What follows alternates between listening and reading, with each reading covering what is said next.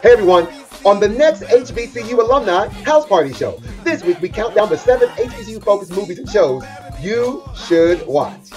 Something for everyone interested in learning about HBCUs. Now, and our campus culture and our rich contributions to black culture at large. I won't spill the beans. You have to watch to find out where your favorite show or movie ranks.